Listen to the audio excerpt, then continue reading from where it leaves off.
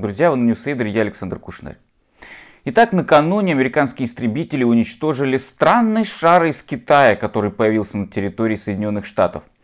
Пентагон дождался, когда этот э, предполагаемый шар-шпион доберется до границы Соединенных Штатов и окажется над водным пространством. Ну и после этого таки было решено уничтожить его. Точнее говоря, не уничтожить, а просто запустить ракету таким образом, чтобы самая главная часть у этого шара, то есть вот та самая сокровенная аппаратура, упала прямиком в воды Атлантического океана. Ну и теперь, конечно, самое интересное нас ждет впереди. Что же это за оборудование, которое, безусловно, ФБР, ЦРУ и неизвестно какие еще там американские спецслужбы, конечно же, это будут и ВМС, выловят в водах. Потому что вот в этом оборудовании как раз и будет на самом деле отгадка по поводу того, а чем же все-таки является этот шар? Дело в том, что Китай, как известно, отрицает, что этот шар является разведывателем, что он занимается выполнением каких-то военных задач. Естественно, китайское правительство это все отрицает. Ну а что же еще оно может делать? Оно настаивает, что этот шар якобы является инструментом, ну скажем так, метеорологического характера. Мол, погоду пришел проверить и посмотреть, и потом э, благодаря вот этому шару, мол, китайские метеорологи могут сказать, откуда идет циклон или антициклон, и какая будет температура завтра в Пекине или, может быть, в Соединенных Штатах, уж непонятно. Китайское правительство утверждает, что, мол, шар просто сбился с курса, а так-то вообще-то это абсолютно безобидная аппаратура от китайских метеорологов. Ну, действительно, что-то такого-то, подумаешь, ну, занесло ветром э, на американскую территорию. Вот только проблема заключается в том, что одновременно другой такой же китайский шар был замечен над Латинской Америкой. И, по всей видимости, он все еще там блуждает где-то. Более того, э, несколько лет назад, в каденцию Трампа, когда он был э, президентом США, подобных случаев было три. То есть, как минимум три раза американские военные замечали вот ровно такие вот шары из Китая над своей территорией. Но тогда не было принято никаких решений по поводу того, что же делать все-таки с этими шарами. А вот на этот раз это стал предметом острой дискуссии и на самом деле даже развертывания напряженности между Соединенными Штатами и Китаем. Напряженность это проявилась уже в том, что госсекретарь США Энтони Блинкен, который должен был бы лететь в Китай, впервые, кстати говоря, с момента своего назначения на свою должность, встретится там со своим коллегой, китайским э, главой МИД Ван И. Но теперь уже, похоже, это не состоится, ну уж точно не сегодня, не завтра и не через месяц. Блинкен решил взять паузу, потому что сейчас в Америке, естественно, звучат обвинения в адрес Пекина, мол, что-то такое, ваше разведывательное беспилотное судно в виде дирижабля разгуливает у нас в воздушном пространстве. Но еще раз говорю, мы все поймем, что это за шар через, возможно, несколько месяцев, и то, если нам об этом сообщают СМИ. На самом деле у Китая аргументация, скажем так, не очень сильная, то есть ее достаточно легко разбить. Вот Китай говорит, что, мол, э, шар э, этот э, чисто для метеорологических измерений. Ну хорошо, а вообще много ли вы знаете таких стран, у которых вот так вот шары, которые занимаются метеорологическими измерениями, летают по разным континентам и их случайно заносят? Дело в том, что шары на самом деле уже давно не используются, по крайней мере, крупными державами для вот подобных задач. Дело в том, что у крупных держав, ну вот у Соединенных Штатов и у Китая, есть э, специальные спутники, которые занимаются метеорологическими измерениями. И уж они-то на самом деле куда более эффективны при решении таких задач. Шары, возможно, помогали эти задачи решать раньше, когда спутников либо не было у стран, либо их было мало для того, чтобы возлагать на них вот такие вот задачи, или, по крайней мере, основной корпус задач. То есть в данном случае наличие шаров, как э, метеорологических измерителей, это инструмент излишний по своему характеру с учетом того, какое большое количество спутников есть у Китая. Да и не только у Китая, ведь понятное дело, что в принципе любая страна может спокойно арендовать, допустим, те или иные спутники у тех же Соединенных Штатов, но еще раз, у Китая и свои есть, поэтому слабый аргумент, согласитесь. А потом они говорят, что случайно занесло ветра. Ну, понимаете, если бы это было один раз за, э, скажем, последние десятилетия, то еще можно было бы это поверить. Но когда у вас шары периодически гуляют э, в воздушном пространстве Соединенных Штатов, только за последние несколько лет э, появлялись там несколько раз, и вот прямо сейчас оказались еще и над Южной Америкой, то как-то уже не особо верится вот в эту случайность. Ну, что-то странно, как слишком часто эти ветра заносят эти шары не туда. Ну и самое главное, как-то так вот получилось, что почему-то ветер занес этот самый китайский шар именно вот э, в то э, пространство, э, с которого как раз очень удобно, например, снимать некоторые стратегические американские объекты, а именно, насколько я понимаю, базу стратегических ядерных сил Соединенных Штатов. Ну вот случайно так получилось. То есть, на самом деле, вот с точки зрения теории вероятности, вероятность того, что случайным образом ветер занесет вот этот китайский шар э, именно вот в эту точку, и именно в условиях напряженности между Соединенными Штатами и Китаем, ну, он просто исчезающий мал. Я, конечно, не делал никаких расчетов в процентном отношении, но это и так понятно. Дело в том, что этот шар был один. То есть, если бы Китай запустил, например, тысячу шаров, и один из них залетел бы вот именно вот в это пространство, да, над вот этой базой появился, а 999 других шаров оказались бы в совершенно других местах, над другими странами, то я бы это еще понял.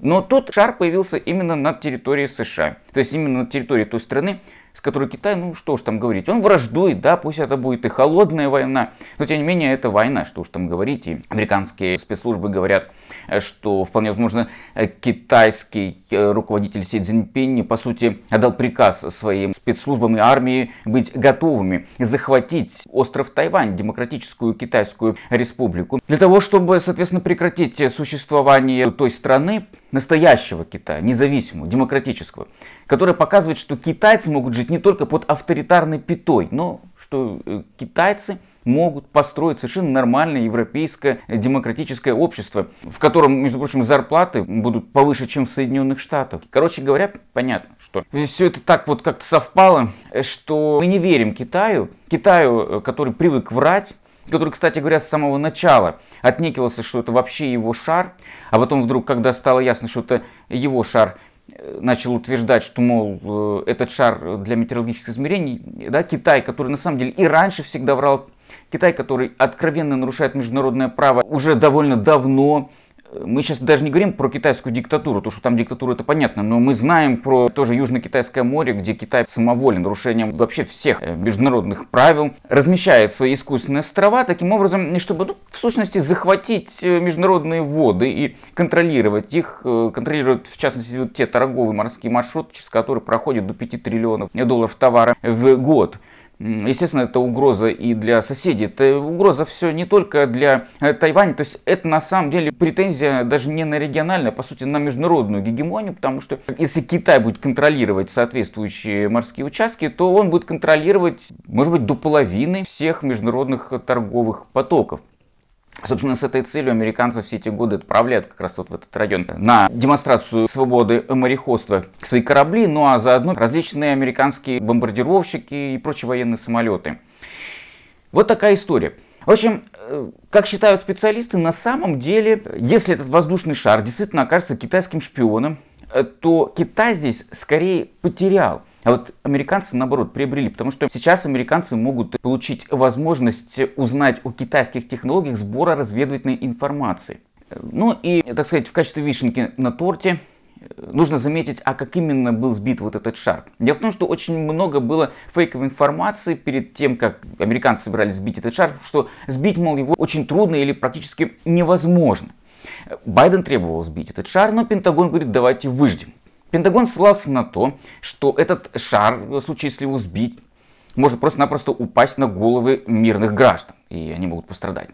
Ну, э, на самом деле, давайте будем говорить честно. Тут мотивация далеко не только такая. То есть мотивация заключалась как раз в том, чтобы дождаться, когда этот шар выйдет вот на такое пространство, где он мог бы быть безопасно приводнен. Для того, чтобы можно было спасти вот это оборудование. Потому что если оборудование рухнет с такой высоты на землю, то практически нет никаких шансов получить его в более-менее целом состоянии. А вот в воде его получить в целом гораздо больше шансов. Ну и теперь давайте посмотрим то видео, которое было опубликовано американцами, как именно сбили этот шар.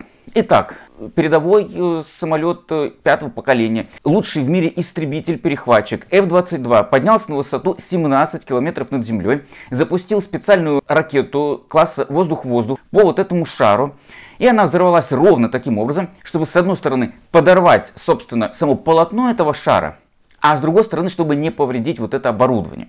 Ну и теперь остается, соответственно, только надеяться на то, что это оборудование действительно не пострадало и благополучно приводнилось, и затем было выловлено теми службами Америки, которые, собственно говоря, и должны этим заниматься. Ну и это уже не говоря о том, как китайское правительство наконец среагировало на сбитие его воздушного шара. Вы не поверите, но китайское правительство заявило протест и пригрозило, что оно будет защищать собственность тех компаний, которые владеют соответствующим оборудованием, которое было уничтожено в США. То есть, казалось бы, если вы цивилизованное правительство, вы должны просто принести извинения за то, что ваш шар, даже неважно, он разведывательный или он метеорологический, каким-то образом закрался в чужое воздушное пространство, именно хотя бы уже для того, чтобы как-то немножечко снизить дипломатическую напряженность, для того, чтобы развеять, в конце концов, какие-либо подозрения, ну и, так сказать, в качестве жеста доброй воли, с точки зрения того, что, да, пожалуйста, смотрите это оборудование и просим нас простить за то, что мы подвергли угрозе ваших мирных жителей, потому что, мало ли, а если бы рухнул бы на головы кому-нибудь из американских граждан, а если бы при сбитии произошел бы какой-нибудь, опять же, инцидент с ущербом для американской собственности или для собственности американских граждан. Вот этого всего Китай не сказал. Нет, Китай говорит, что он, мол, крайне и крайне возмущен. То есть, простите, но чем же он возмущен? Тем, что американское правительство имело полное право сбить неизвестный летательный аппарат в своем пространстве. Короче говоря, Китай есть Китай. Коммунистическая партия поступила так, как и поступают всегда любые авторитарные диктатуры. Когда их ловят за руку, они начинают верещать и грозить ответом. И при этом ответа, конечно, никакого не будет. В общем, это еще один эпизод, показывающий на самом деле, с одной стороны, что Китай, безусловно, это ни в коем случае не партнер э, евроатлантической цивилизации. Это оппонент. И тут вопрос только в той степени его оппонирования. С одной стороны, Китай постоянно говорит, что он, мол, не помогает России. Но с другой стороны, вот, например, газета Wall Street Journal в своем очередном материале показала, что, оказывается, из Китая за последний год э, шло немало технологий для поддержания военной машины России. Независимые российские медиа обнаружили схемы поставок подсанкционного оборудования из Китая в Россию, ну и так далее. Множится подобные расследования, расследования того, как на самом деле китайские частные и государственные компании поддерживают военную машину Путина. Да, это не масштабная поддержка, это не поставка каких-то серьезных вооружений, но так или иначе это все-таки поставки на миллионы, на десятки миллионов долларов, именно тех ключевых компонентов, без которых российская военная машина просто-напросто э, довольно быстро сдуется. То есть это установка аппарата искусственного дыхания. И таким образом, я думаю, что в ближайшие недели и месяцы Соединенные Штаты будут наращивать давление на Китай и другие страны, кстати говоря, в том числе и Турцию, которые не хотят соблюдать э, санкции, введенные Западом против России, которые не хотят контролировать соблюдение этих санкций, которые фактически поощряют э, работу на своей территории тех компаний, которые готовы становиться посредниками в черном бизнесе между западными компаниями и Россией, при том, что западные компании зачастую в таких случаях, в общем-то, не понимают, кому и что они продают, потому что создаются различные фирмы-посредники на территории Турции, Сингапура, Китая. На первый взгляд, ничем не примечательные конторы, которые покупают какие-нибудь американские микросхемы, продают их в Россию. Так что вот так нужно воспринимать вот этот инцидент с этим вот шаром, да, в контексте всего происходящего. Впрочем, э, Китай продолжает настаивать на своем, вот он даже уволил главу метеорологической службы из-за вот этой истории. Говорят, что, скорее всего, тем самым власти КНР хотят снизить напряженность и продемонстрировать, что нет, такие это именно метеорологическое оборудование, и что мы здесь ни при чем. С другой стороны, можно только догадаться, а чем там на самом деле занимается и метеорологическая служба в целом у Китая, и вот этот глава этой метеорологической службы. Потому что не исключено, что занимаются они отнюдь не только прогнозированием погоды, но и некоторых других моментов. Ну, например, э, изучением того, а э, не испортится ли погода в случае, если Китай начнет напрямую угрожать Соединенным Штатам? И каковы возможности, в том числе стратегические ядерные возможности Соединенных Штатов по приструнению Китая? Спасибо, друзья. Подписывайтесь, а также ставьте лайки, оставляйте комментарии. Мы всегда смотрим ваши комментарии и по возможности отвечаем на них. Благодарю всех вас за поддержку, за добрые отзывы. И ваши отзывы, кстати, очень важны, потому что они в том числе помогают распространять наши видео в YouTube. Поддерживайте украинскую армию, а также наш канал при желании через те ресурсы, ссылки на которые найдете в описании к этому видео. PayPal, Patreon, банковский счет, Kiwi и прочее. До скорого.